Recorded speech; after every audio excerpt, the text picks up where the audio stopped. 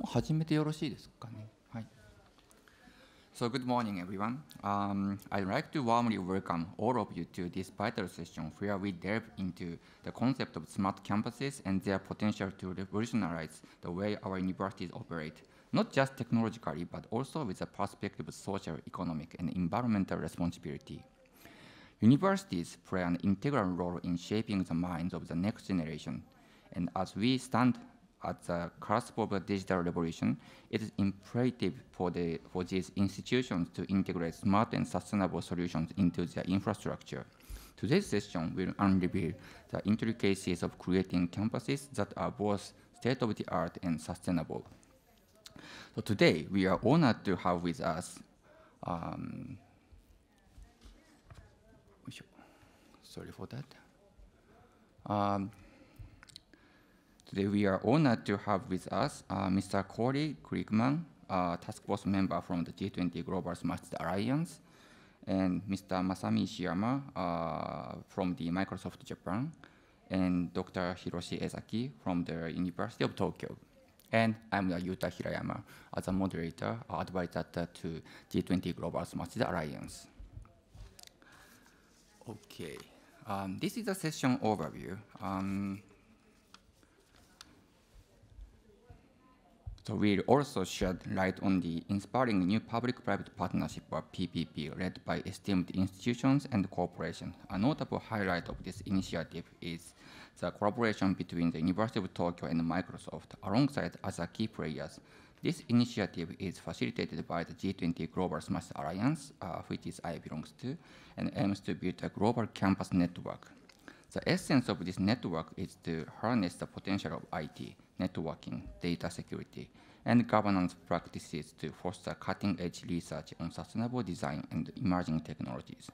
We'll also explore the pathway to achieving a net zero footprint, footprint through pioneering digital infrastructures that leverage IT, IoT, generative AI, and more.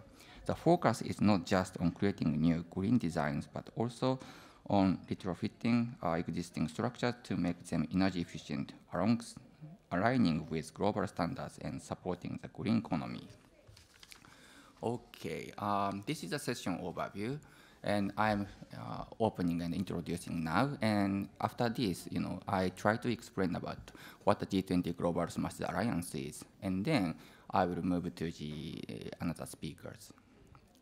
Good. So um, maybe uh, you may not know the what the G20 Global Smart City Alliance is. And this activity was born in 2019. So at that time, Japan government was the G20 presidency, and we tried to put uh, the smart city, the word smart city, it be uh, kind of the topic in G20 discussions. And 2020 is also Saudi Arabia government is also pushed to discuss about what the you know uh, importance of the smart city. 2019, 2020, um, there are so many, you know, uh, smart city project is built in all over the world. On the other hand, you know, technology governance is the issue. For example, the privacy issue or vendor lock-in issue or um, so fragmented business model is also very difficult. So um, we try to uh, mandate, our mandate is, sorry for that, um, our mandate was to bring together global stakeholders to establish and advance a set of global norms for the ethical and responsible use of smart technologies in cities. So that is what we wanted to do. After that, um, actually from 2019 to 2022, um, we developed uh, five principles for responsible and ethical smart cities. And also, uh, we developed some model policies model policy is like, you know, there are so many technology governance issues over there. However, we gather the, uh, many experts from all over the world. And like Esaki Sensei and Corey is one of the task force member, but we discussed what the issue in the city and what you know policy should be uh, more uh, like prioritized to adapt to the cities. And we discussed a lot. And then we, we are developing some policies. For example, one of that is the accessibility policy. So um, like, you know, there are so many, you know, accessibility issues over there. So we try to push such, such policy to the cities, and then we try to um, increase such kind of you know uh, reduce such kind of the gap in here. And also like um, privacy impact assessment policies also we developed. Um, this, this is very important policy for many cities. And in Japan, uh, this policy uh, it was introduced by the cabinet office and then uh, now gradually uh, implementing to some cities. For example, the Tsukuba city, uh, one of the super city, uh, is implementing this policy to their cities. On the other hand, and, and also open data policy is also very important. But our you know, project was not only developing the policy, but how to implement this kind of the policy to the cities. And then we try to develop some, you know, um, city network here. And then uh, now, you know, globally, we have more than 36 pioneer cities. And also we have some, you know, local cities, local kind of the uh, regional alliances uh, is over there. And like Japan, we have more than 37, 8 uh, cities in, in Japanese community. And also now we are developing Latin America or ASEAN network. Or, so we, we are developing such kind of regional alliances. And, you know, um, in 2021, um, the Global Smart Alliance was received the Governance and Economy Award uh, in Smart City Expo World Congress. So um, our project was kind of, you know, uh, popular these days, but I, I know many people doesn't know this. So um, today I'm very honored to, to introduce our project. And lastly, uh, last March, uh, we had a uh, joint event with uh, Japan government and so this, these photos are the G7 official public-private event, high-level roundtable for the G7 Sustainable Urban Development Ministers meeting. And in this event, uh, Dr. Esaki Sensei and Corey uh, had met in the session. And now we are uh, started to discuss about this today's you know, to main topic, green building policies. So um, I'd love to uh, introduce you know, what the Global Smart Alliance was, you know, did. Okay, um, my story is too long, so um, I'd like to pass to the Corey. So, um, so Corey, uh, you okay? Yes, I am. Can you hear me? Yeah, yeah, yeah. I can hear you. Please. Yes, excellent. Okay, well, first of all, thank you very much. So I'm, I'm Corey Glickman, and I just want to spend a few minutes uh, talking a bit about the transformation uh, component. So first part is talk about the overview of the transformation of the built environment um, for wellness across multiple sectors. And that would include the idea of residents, agriculture, administration, industry and commerce, education and research, infrastructure services, and transportation and communication. And these components make up the diverse community activities that we all experience in our urban environments. And what works very well that we know is putting in smart monitors and controls across all aspects of cities. We would focus on areas of transport, buildings, environment, life, events, infrastructure, and utilities. And when we do this, we enable communities to transform the urban landscape. Next slide, please. So there are four aspects that we synthesize or levers that we use in this idea of, transform, of transforming the built environment. The first one is decarbonization. So radically reduce the emissions for a zero carbon built environment. The second is democratization. So provide equitable wellness uh, for resilience for the living environment. The third is digitalization, having a digital backbone that smartly connects our buildings, our distributed energy resources, our people, and our businesses. And the fourth is demonstration. The ability to visualize our hypothesis and our tests that sets the direction for the next generation of city transformation experts. And these are absolutely vital for us to be able to show what progress can be made and what ideas can be put forward across here. And then lastly, what I'd like to talk about very quickly is the vision. So we create this vision for a zero carbon built environment by promoting this equitable wellness and resilience. And probably the most important lesson that I can share with you, having done this for several years now in several cities around the world, and what we've done with the G20 and with our partners here, is we know that decarbonization is actually a user centric, multi stakeholder approach.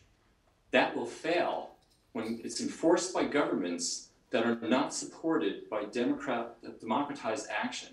That means you can set those standards as a government level and policy level, but if everybody does not contribute and participate, it is going to fail. We see that happen.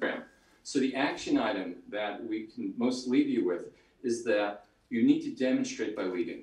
You need to have the whole community participate, particularly those that are experts and those that are in their learning institutions and those in the businesses. And when that happens, that democratization, teams with government, teams with public and private entities, is when you truly see transformation take place.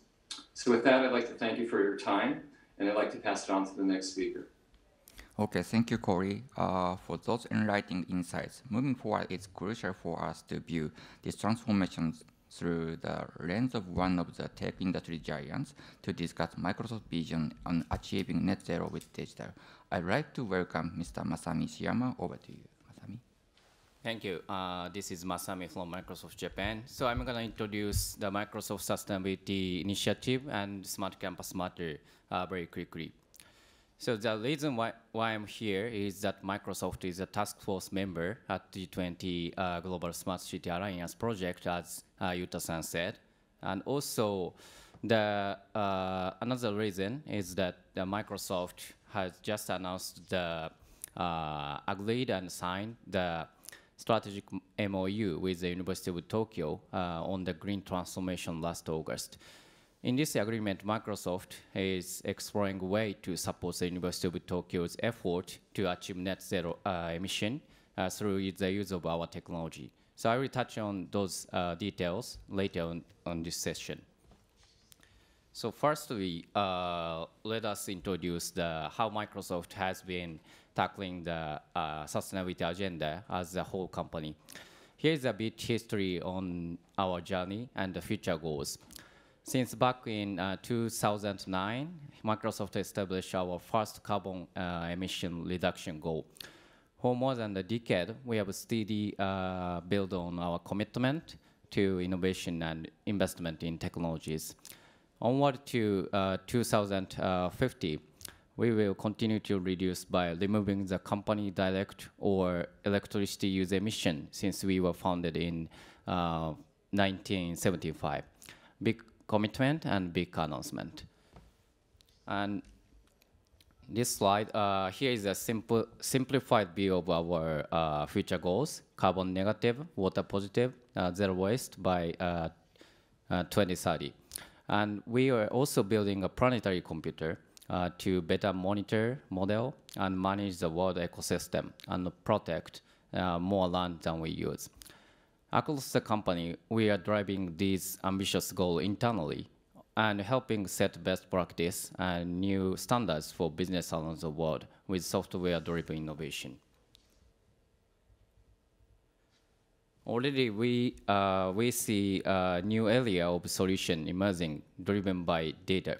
Through our work uh, with customer and partners such as managing data uh, using advanced analytics, machine learning, and virtual model in the cloud, we are helping the organization in many aspects. As you can see, uh, we are building and space topic, uh, supply chain topic, also uh, circular economy topic, and also smart grid infrastructure solution topic. When it comes to data, as the Alliance, uh, G G20 Alliance uh, focused on technology governance, uh, discussion often lies around the ownership and control of data. At Microsoft, we have fundament, uh, fundamental principle. Your data belongs to you. Uh, we don't use your data uh, for our business. When you or your customer desire to open up your data, we commit to safeguarding your permissions and protecting uh, your data against potential threats. Today's main is building and space, so uh, let's see our uh, own example first. So uh, when it comes to sustainability campus at Microsoft, we run like a medium size of city uh, that is scattered across the globe. The vision is to build, uh, deliver, and operate uh, connected, accessible, sustainable, and secure workspace that creates the best employer experience. So uh, this is uh, customer number one uh, for us uh, for smart building solution. Uh, our initial effort to reduce power consumption in our building was focused on the headquarters, Microsoft uh, Redmond campus, which spanned 125 buildings serving more than 60,000 people. Across the campus, there were multiple building systems uh, 60 million annual utility spend. Microsoft used ICONICS, uh, who is a partner uh, solution running on Azure, and extended with Power BI, Azure IoT, and Dynamics 365 to remotely monitor and manage the building across, uh, across the campus. As a result of initial effort, uh, Microsoft achieved a, a 6 to 10% reduction in annual energy usage with uh, implementation payback in less than 18, uh, 18 months. So when we think about the smart campus, employer experience or student experience uh, is uh, very key, meaning the such as productivity, hybrid, uh, wellness, or access. In order to improve the employer or student experience with the campus, we need to uh, platform and operations uh, that help optimize how we build and run our real estate. We have two operational platform, data and BI, and also Azure Digital Twin, and six uh, operational functions on the uh, right side. So today's agenda uh, is the uh, smart campus. So uh, my slide will touch on the data and AI and Azure Data Twin today. So first one, data and BI. So we run one of the world's largest corporate real estate data store, which we rely on to optimize the operations and save money. There are over 20 uh, resources, uh, sources of data inputted. However, the real value uh, comes from the ability to combine the data source for insight. For sustainability example, we have utility cost data for electricity, natural gas, fuel, including transport, transport fuels, uh, waste, including recycled, and water. The next level up is to apply machine learning to it. Like uh, two use case. Uh, number one is space optimization, uh, batch data plus uh, Wi-Fi MAC address. Number two is energy efficiency, a more uh, smart start. So another one is Azure Digital Twin, uh, other fun foundational platform. So it's uh, to create the digital replicas uh, of our physical world. The digital twin is a normal world, uh, normal world. Our physical world uh, means things, place, uh, people, and state. the slide shows example of each.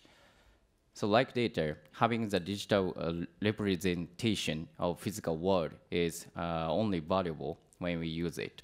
For example, sensor system that detect environmental conditions such as temperature and air quality. We have a lot of smart uh, campus best practice and cases uh, case studies around the world, uh, but uh, uh, we're gonna introduce uh, the campus universities case study. So this one is about Temple University in Philadelphia. Temple University facility and operations need to create a smart building strategy uh, to optimize operation across its uh, 240 buildings reduce, uh, to reduce cost and enhance service for its school, business, employers, and student. So Microsoft partner eMagic uh, utilized Microsoft Azure Digital Twin solution uh, in five buildings on Temple's uh, Philadelphia campus as the initial phase of the integrated facility management solution. This solution enables the university to cut costs, uh, optimize energy and resources, and improving service level on the campus. So as I mentioned uh, at, uh, in, uh, at the beginning, uh, based on those uh, technology component and case studies, as I said, uh, we are exploring way to support the University of Tokyo's effort as a first step to achieve net zero emission through our technologies. Of course, the University of Tokyo ha have been the various activities about green transformation so far, such as the sustainable uh, campus project uh, starting the 2008, and also participation in the net zero uh, race, race to zero campaign, and also publication of the U Tokyo climate action last year, starting last year. The goal of our first campus GX, GX project is to help them improve energy efficiency from sustainability perspective. This has both uh, environmental impact and its technology architecture could apply to other uh, smart campus scenarios outside of the University of Tokyo, uh, not in Japan, not uh, to all over the world. So as we mentioned, the G20 Smart City Alliance focus on the uh, technology governance. Microsoft stick to a basic rule, as I said, your data is uh, yours uh, as I stated in the bottom right corner of the slide, uh, open data environment. This one, yeah. And we started the Campus GX project as a pilot, which aimed to reduce uh, energy through smart campus technology and have been discussing the architecture and how to uh, adapt the technology. With that, we will expand the current smart campus pilot project, which aims to reduce energy consumption with Microsoft technology, collaborating with GUTP, uh, Green University of Tokyo project, which uh, Sensei is leading uh, to create smart building reference architecture, which would influence other smart building policy and the entire industry. So this is uh, last last slide of my session. I'll end by mentioning the some uh, lesson learning uh, that Microsoft uh, about the smart campus. Number one, starting with data, begin uh, by collecting and analyzing data from sensor and system to identify the uh, campus issue and opportunities. The data insight from the found, uh, foundation for effective uh, strategy. Number two, optimize process. Before introducing the new technology, optimize the existing process uh, for effective strategy. So number three is define IoT uh, use case. So uh, let's specify a clear use case for IoT device, such as monitoring uh, energy consumption or improving security. Number four, uh, importance of the uh, floor plan. So it is crucial, critical for smart campus implementation. so let's have an accurate floor plan. So that's a key. Uh, number five, lastly, the construction schedule. So properly uh, manage construction schedule for uh, new infrastructure and technology, uh, meeting the budget and de deadline requirement. So uh, thank you for uh, listening and hand over to the Dr. Esaki-san. Yeah. Thank you, thank you, Ishiyama-san. So yeah, could you start? Okay, uh, thank you for introduction. I want to share with you a concrete number or concrete action based on the vision the uh, Microsoft or Hirayama-san or WEF are having. The important thing is we should show what we can do using digital technology or using the internet. First one is the, uh, many of you may, know, may not know about EP100. That's the electrical, I'm sorry, energy productivity 100%, which means using the digital technology, you want to improve the efficiency, especially energy efficiency, by double. Meaning the same work can be done by a half of energy. That is relatively quite easy in the case of digital. For example, when we use Google or Microsoft, regarding the uh, application. When we have the cloud computing, more than 80% of energy saving be able to do. That is not a full number. That's very, very we, we can do. This is the uh, you know footprint of the in 2022, how many carbon footprint each country has.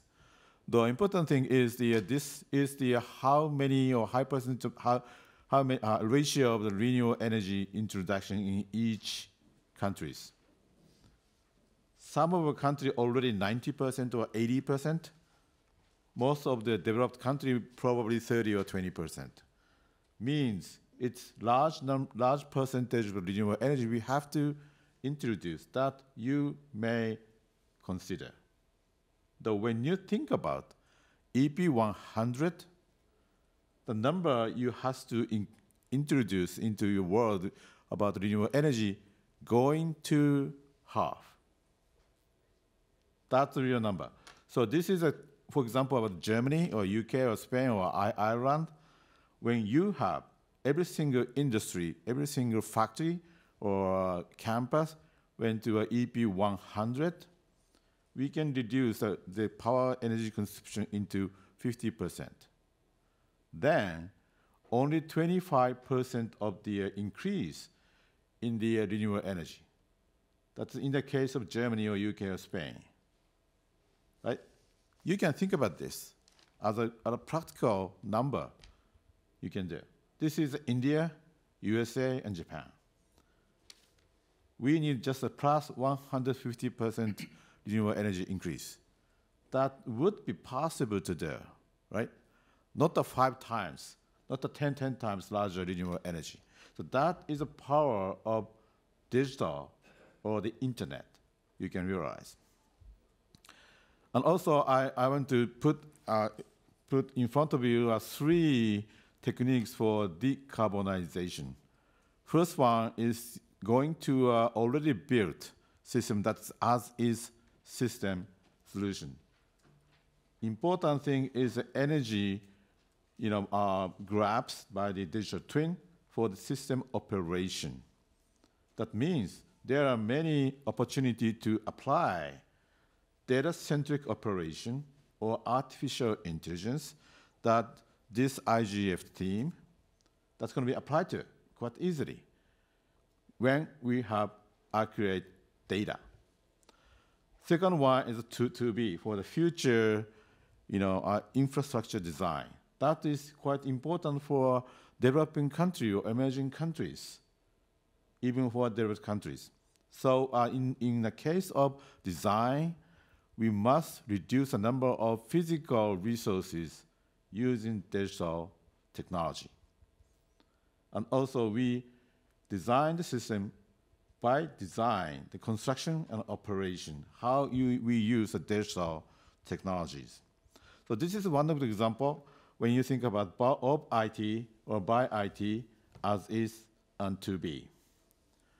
The left left hand top that's going to be that's going to be you know uh, uh, explained by the Microsoft that is digital twin.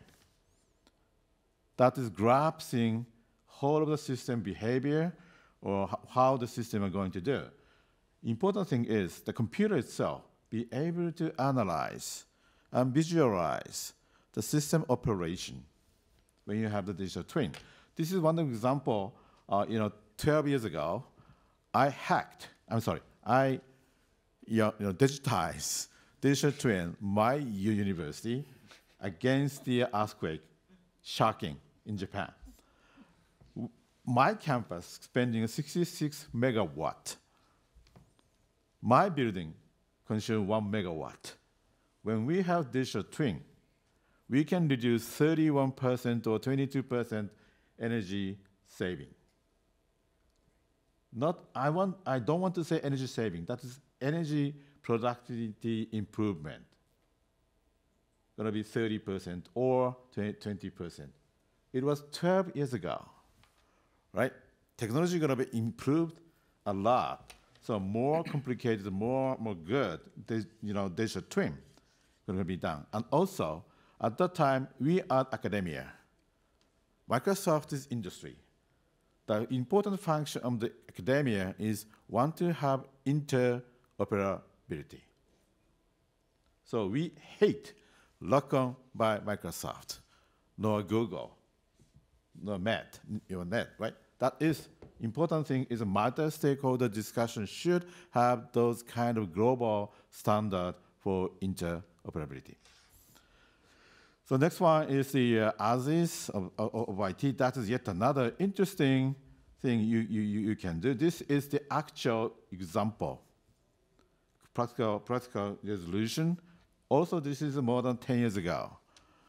BMW in Germany has their own IT asset facilities. They analyze all of the all the tasks in their company.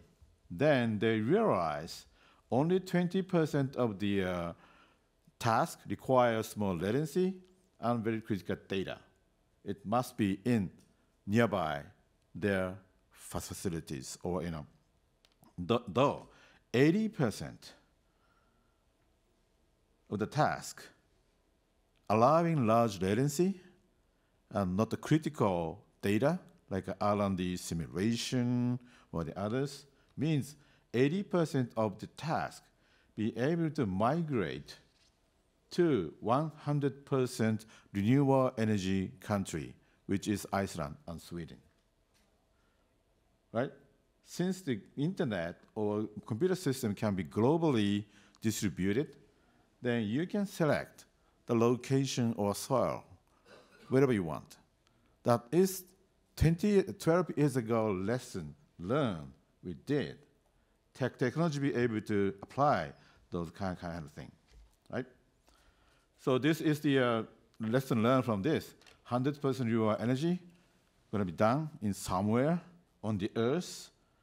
Then the, uh, and also some of the on-the-premise computers be able to go into the data center, then at least 30 or 40% energy cut be able to, due to the very high performance HVACs when you use the cloud, as I mentioned, 70 or 80% be able to cut by sharing economy. Sharing economy is also good, not only for the power saving, but also the resource reduction. The physical resource, like a computers or HVACs or the other, or building itself, large reduce, reduction of the, of the system be able to do.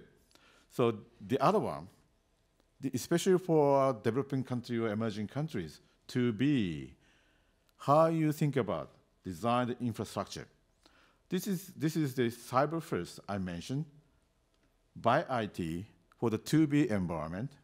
Think about assuming you have sophisticated a good digital technology. So this is the uh, one of the example. This is the uh, logistics in about 200 years ago. It was exclusive logistics system every single industry, every single company has. That is the exclusive use, exclusive build, the infrastructure. What the very good invention by the human being was container and pallet. This went to sharing economy in physical package transportation, right? When you have a container or a pallet, every single you know, material be able to put into the same package.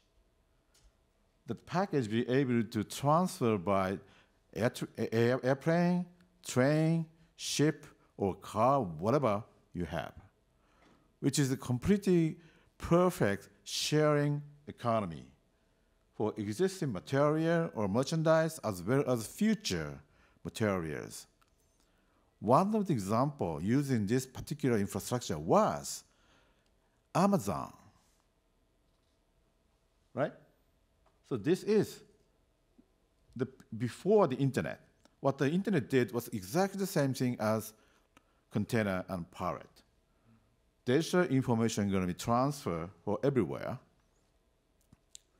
on any technology like a Wi-Fi, you know, glass fibers or copper fibers, and also any material digitized thing going to be able to transfer everywhere on the earth, like a text, video, or voice, whatever, whatever you have, or program as well, or recipe for the 3D, 3D printer as well.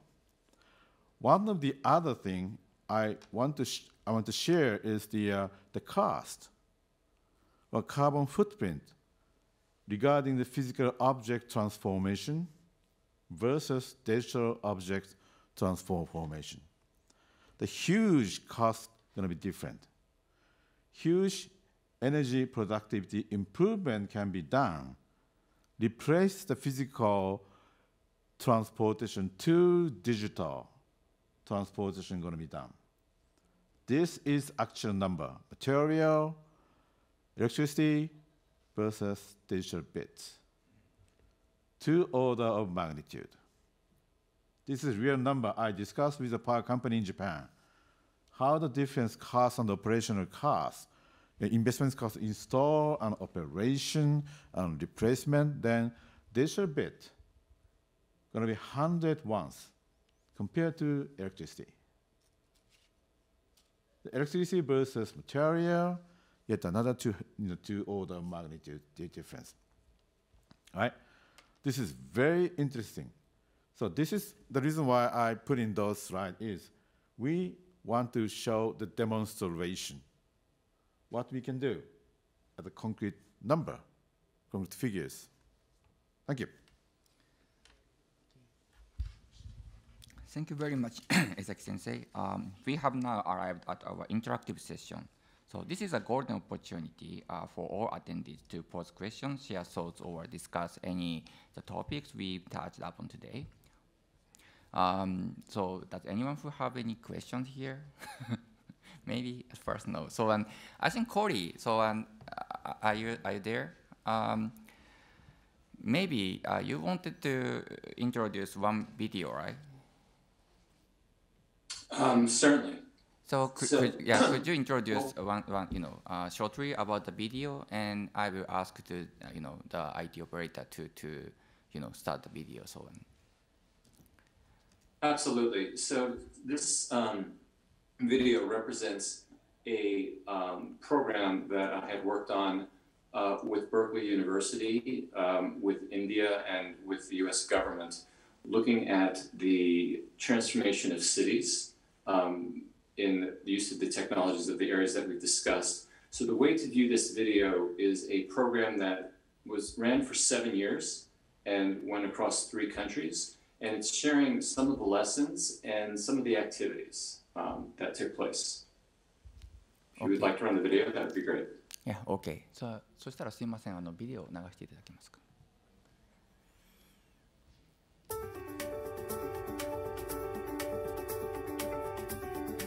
India is poised to become the fifth largest economy in the world.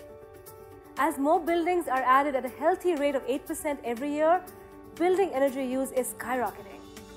Trends in the Indian construction, especially the new construction, the urban heat increase, and the high occupancy levels in India present unique challenges to the building ecosystem.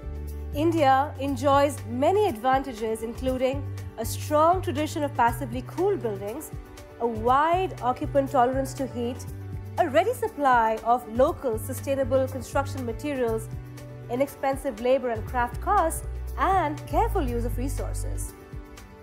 At Lawrence Berkeley National Laboratory, we are committed to working with Indian research community, industry, and government to develop building technologies that enhance building comfort, push the envelope for efficiency, and improve the health, safety, and life of building occupants in both countries.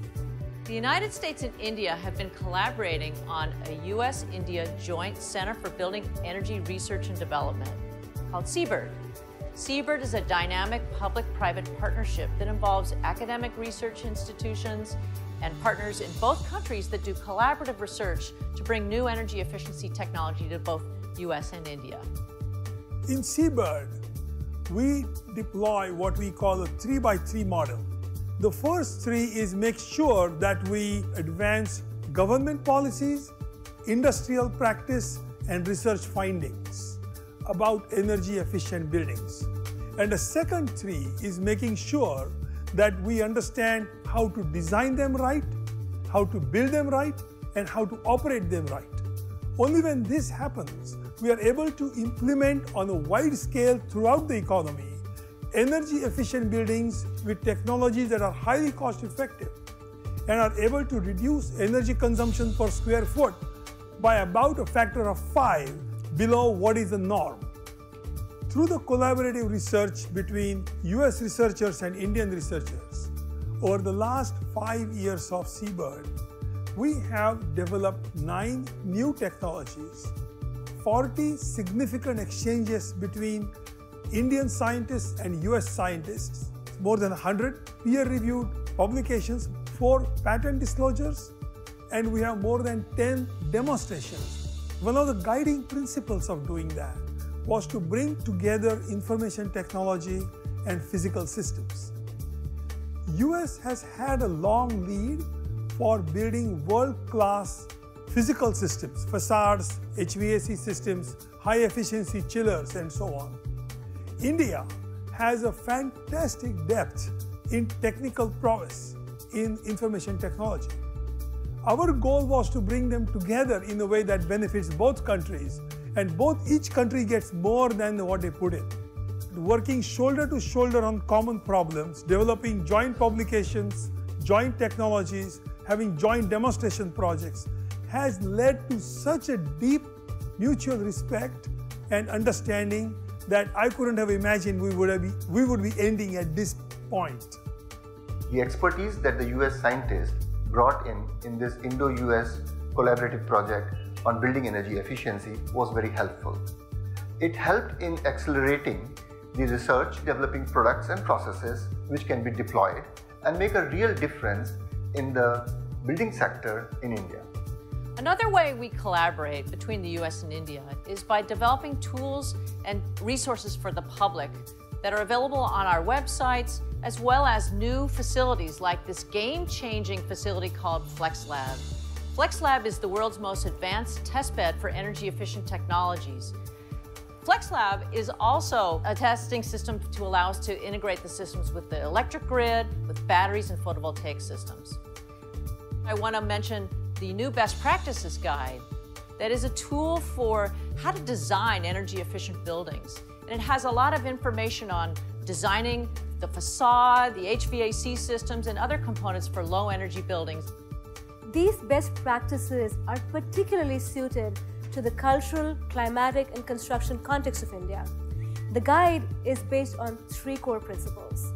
One, using a triple bottom line framework for energy efficiency decision making using financial capital, environmental capital, and enhanced working environments as a theme.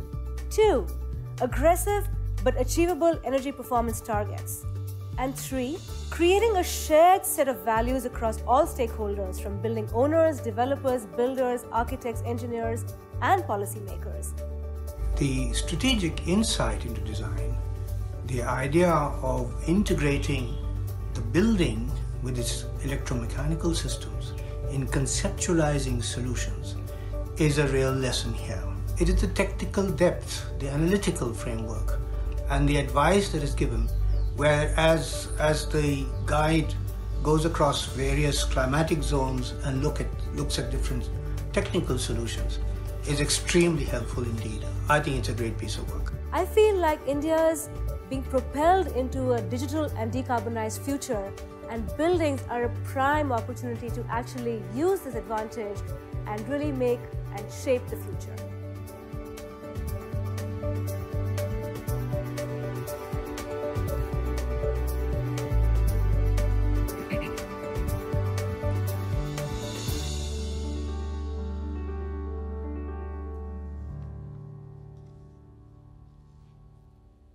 So Corey, thank you for introducing the video.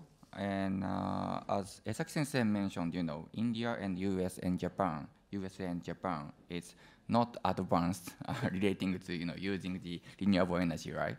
So I think we have much space to, to you know, uh, increasing this kind of the field. And uh, so Corey, I, I, want to ask you, so based on your experience in digital transformation landscape, what do you believe are the primary obstacles that not only the universities, but you know, today we discussed about the green, you know, building, you know, policy in universities, but you know, not only the university, but more like business field.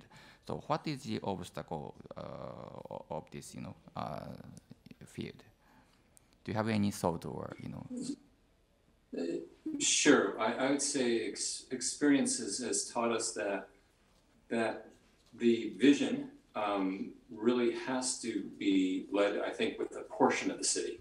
So just as you're talking about the University of Tokyo teaming with Microsoft, that is a great place to start. It- you know, you can define what is what is a smart space or a smart city.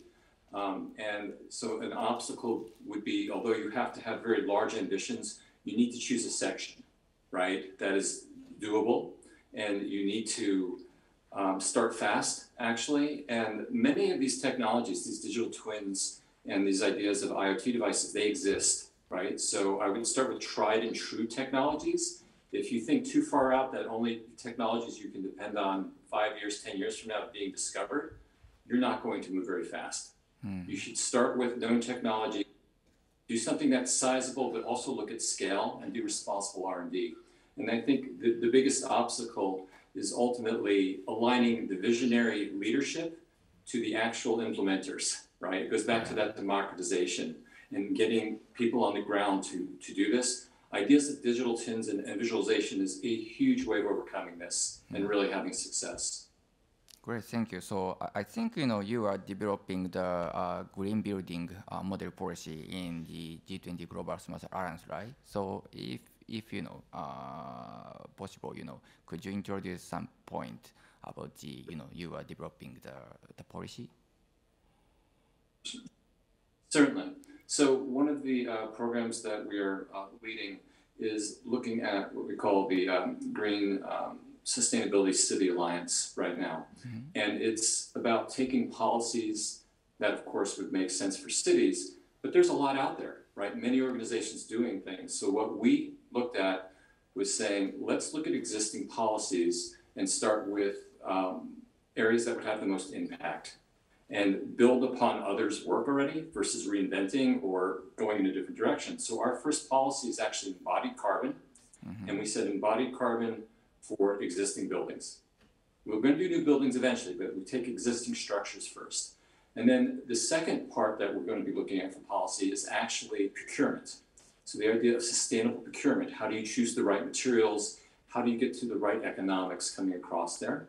And then the third area we're still exploring. It takes about six to eight months to do a policy. And We're just finishing the embodied carbon one, and we're starting the sustainable procurement. Will likely be zoning. And zoning is so important, but it's a very complex government issue, locality issue. And I would say the lesson that we've learned over and over again that we hear from everybody, it's about contextualization or localization. You can take a great policy that works in London or that works in Tokyo, and does that translate to Kyoto? Or does that translate to another city? You probably have to do something upstream or downstream in order for that policy to, to make sense, right? And I would say the other one is that when you ask other policy leaders who are working on these programs, they're very open to discussing and to sharing their networks. And that's another very powerful thing. And I think often policy groups try to work in their own silos and they don't reach out enough. And when they do, you can quickly accelerate what's what's taking place. So that's really what we're looking at right now.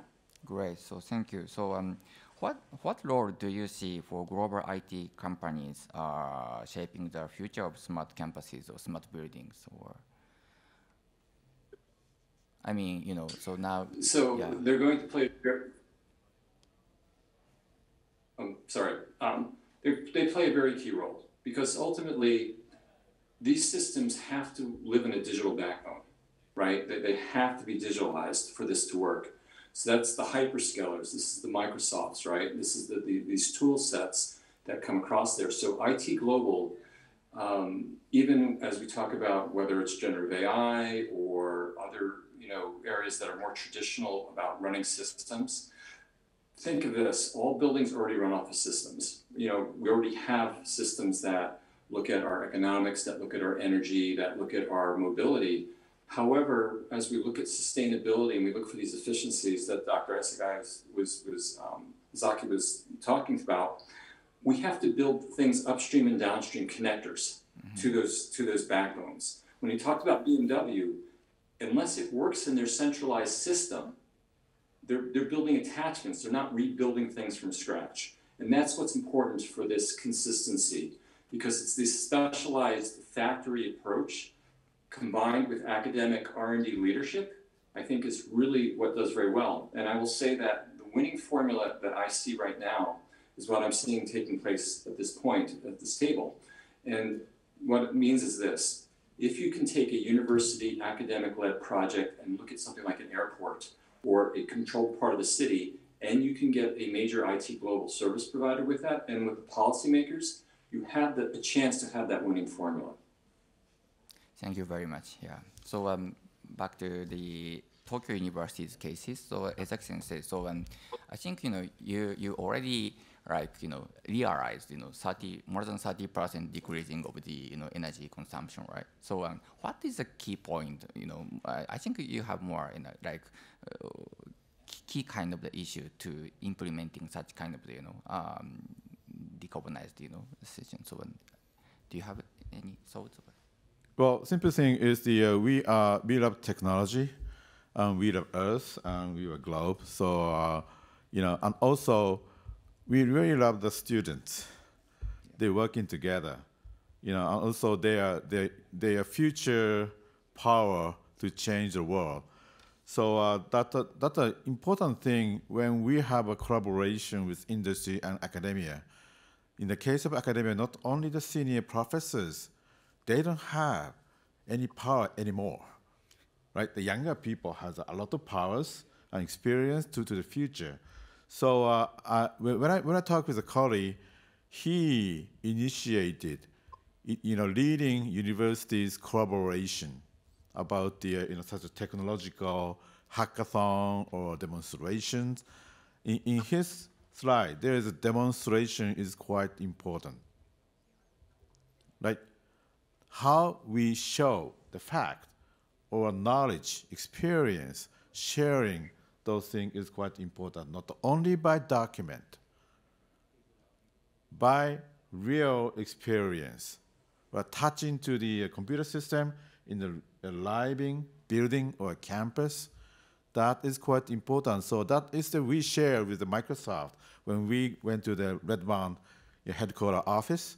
We really share engineers or executives should touch on real system. They realize what's going on.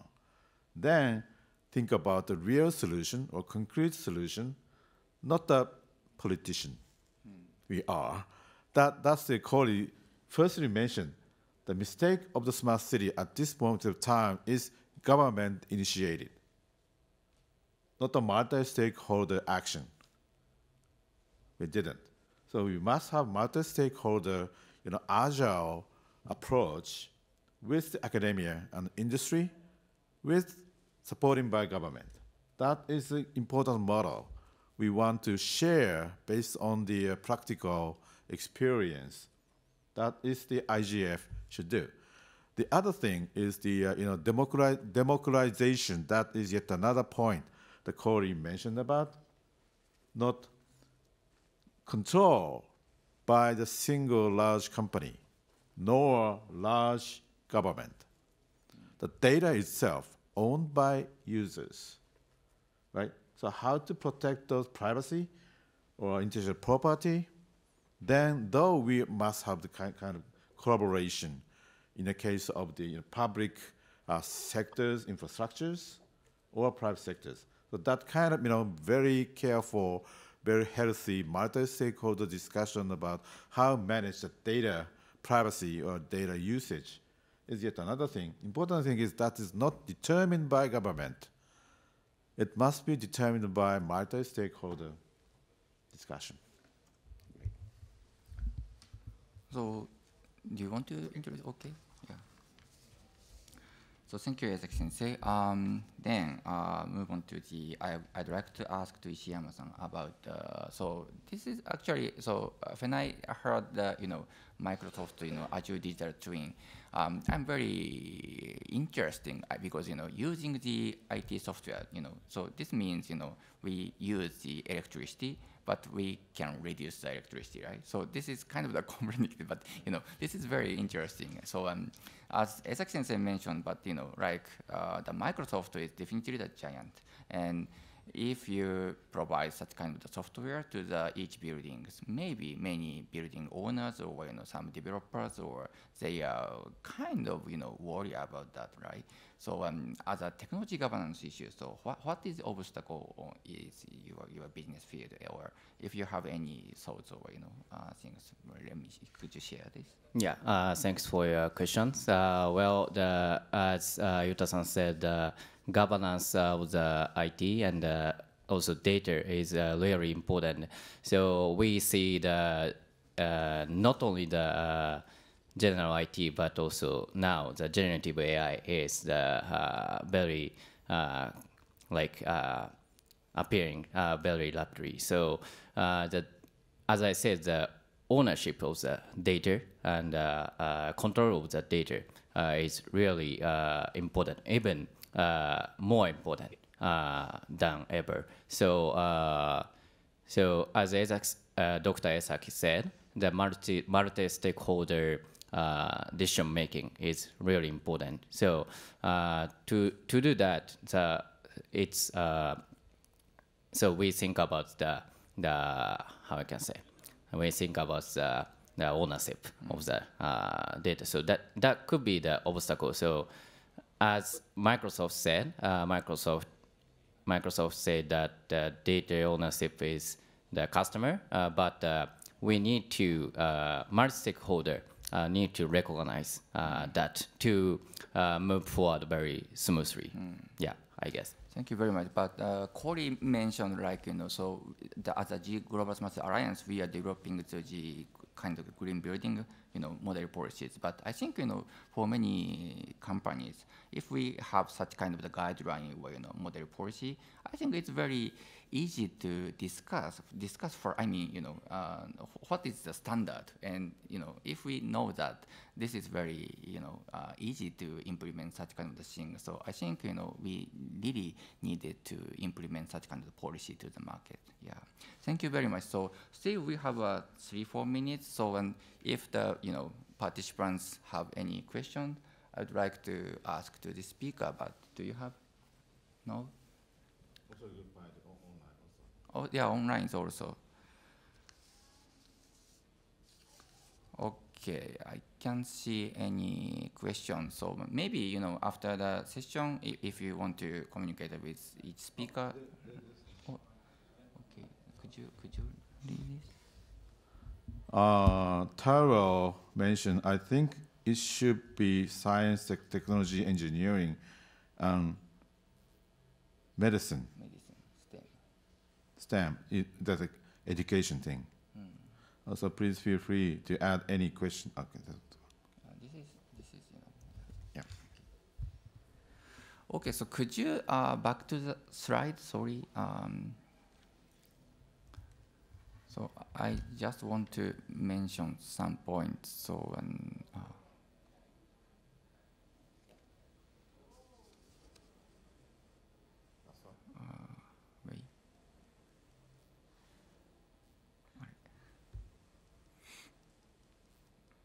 So um, I know, you know, in this venue, you know, there are so many experts here, and definitely, you know, what we discussed today, uh, we are lack of the expert, and if you want to join the G20 Global Smart Alliance network, uh, let me know that. So there are so many, you know, experts, there are policymaker, academia, and private sector, you know, experts are joining our, you know, uh, project, and they are, you know, discussing about what the, you know, policy uh, should be implemented to the city, and you know, we are always welcome. So um, let me know if you want to join this.